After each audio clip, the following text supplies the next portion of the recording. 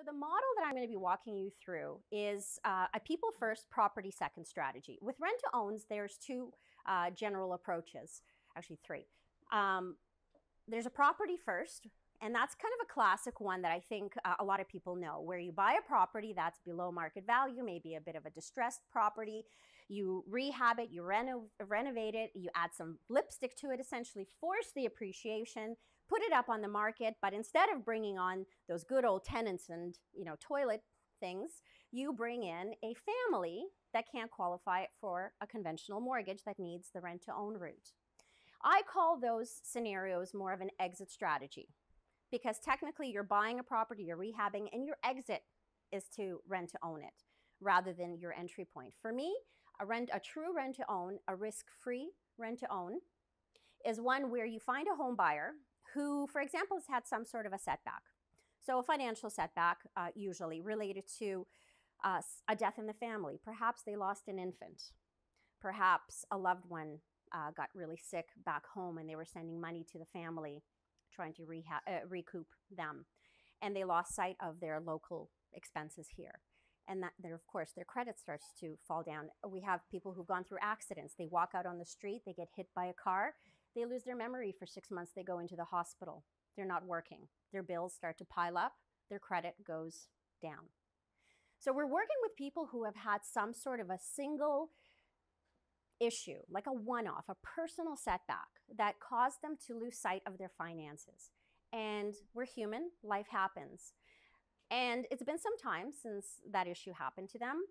And they started to save up. They went back to work and started to save up. And everyone has it in the back of their head that you need how much to get a personal residence? How much of a down payment do you need?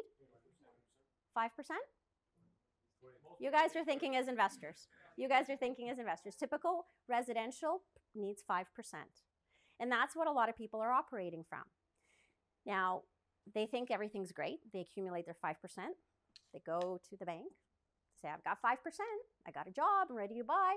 The bank checks their credit. Guess what? They still haven't resolved some of the collections items from the time that they had their setback.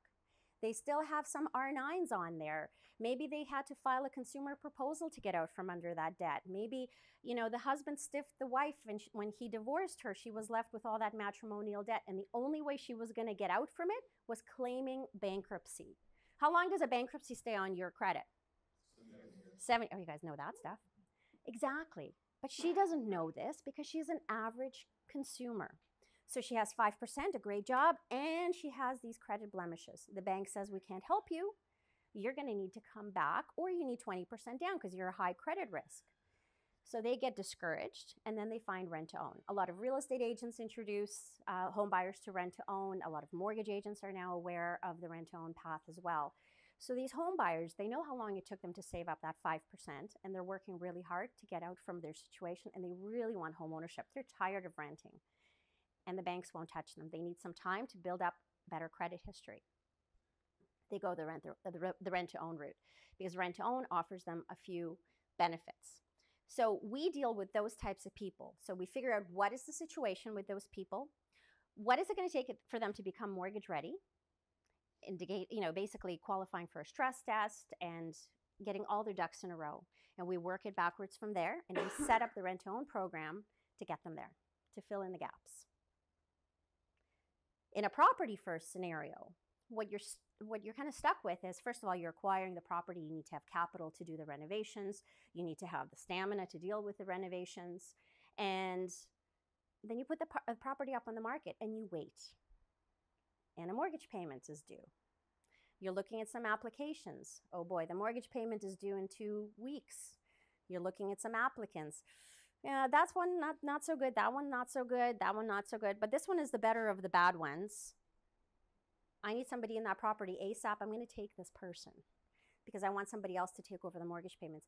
So investors who are holding a property and are trying to use the exit strategy as a rent own are motivated to get somebody in there rather than the right people.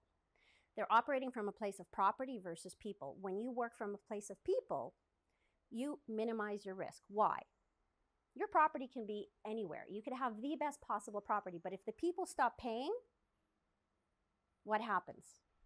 It's not the property that pays for itself, it's the people. So you want to have people in a rent to own that are not just financially committed because in a rent to own they're coming in with 5% down. When they go house hunting to pick a property in their budget, they get those butterflies and they get that emotional connection.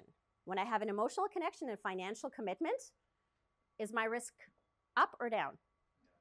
Bingo. That's how we manage the risk with rent to owns. We want people first.